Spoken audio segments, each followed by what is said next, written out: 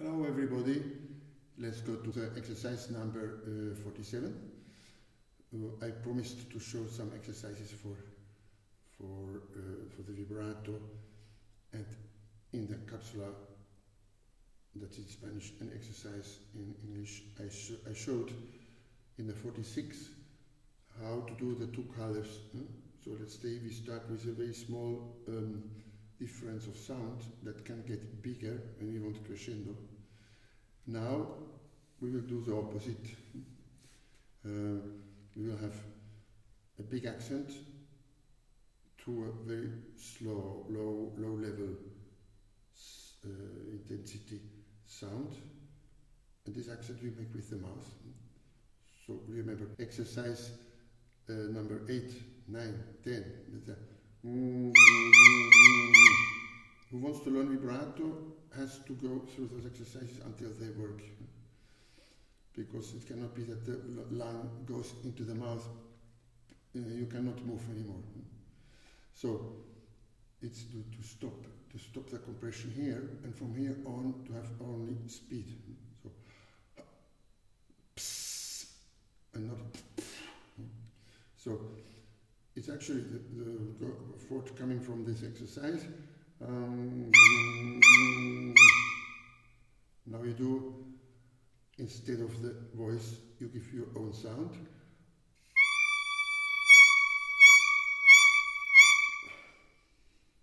And you, you hear the accent coming from the mouth, which is much bigger than if you would do with the whole body, because the whole body eliminates himself by having the overpressure in the mouth. So we go, we go to the instrument.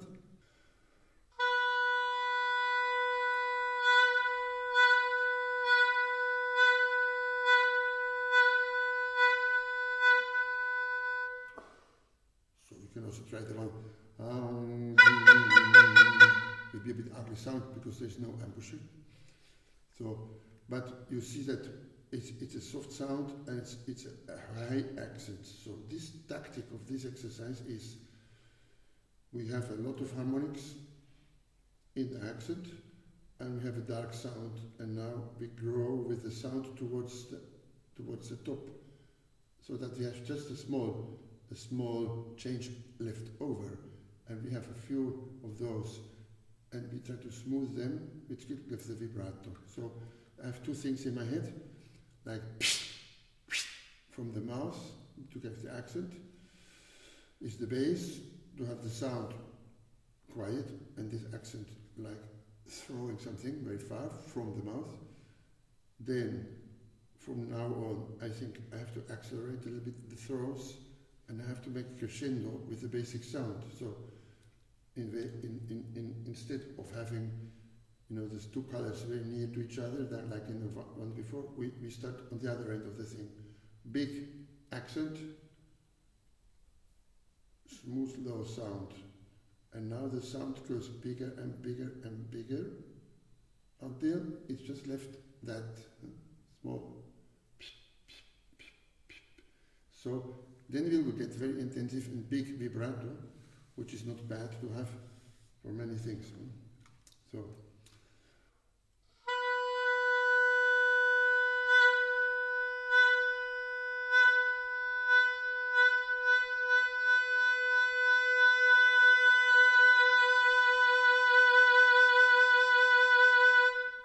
You see, I'm actually, in this exercise, I'm catching up my accent with the sound so that the accent is getting a vibrato unit. But instead of like that, I want it like that. So that we have waves. I imagine always things when I do it. I mean, imagine uh, in the nature uh, a low, low sea, water, and then a big mountain and another big mountain like that sticking out. And then in the time you know many thousand millions millions of years the water is growing growing. So instead of the big mountain we get then just islands. And in the time also the wind and the erosion has made take off the point of the islands. And so we get this. And now we have the vibrato. So growing the water is growing your sound. This stays the same, like the. so it means you see we come from the other end uh, to have the very big accents, too big to be a vibrato, because we want just a small color change, but we want we need an intensive vibrato for many places in the music. Or low sea, low sea level, high mountain.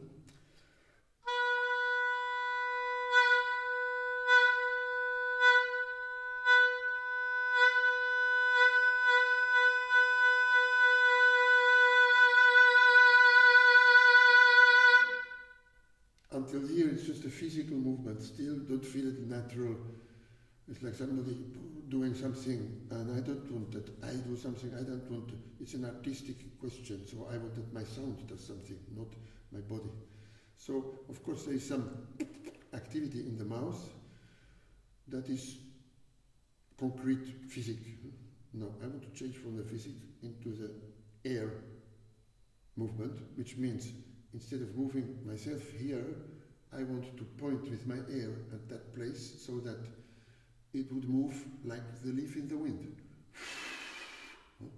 So at that moment I concentrate my blowing here and not here. It will go there, but already with the vibrato. Because uh, in nature, I'm here, you don't see it, but outside I see some trees, they are completely quiet now, no wind at all. But sometimes comes a little wind and I immediately see all the leaves move. They have no muscles. they just have, they are free in the wind. Try to be free in the wind in your palate. And then this is the moment that it will be really vibrato.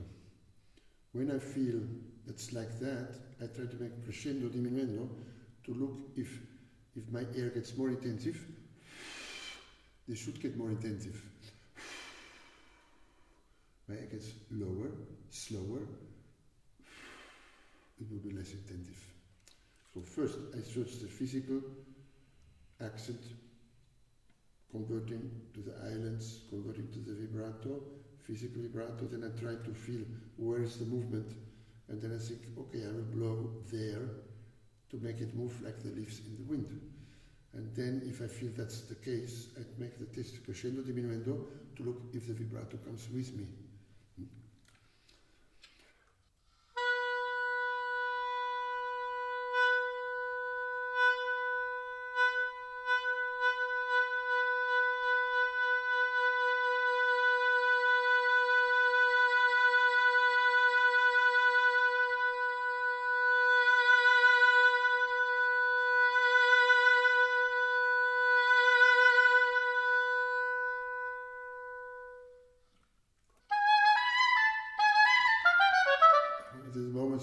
Great expression, we have a fast vibrato, intensive vibrato on a quaver. We cannot wait for it.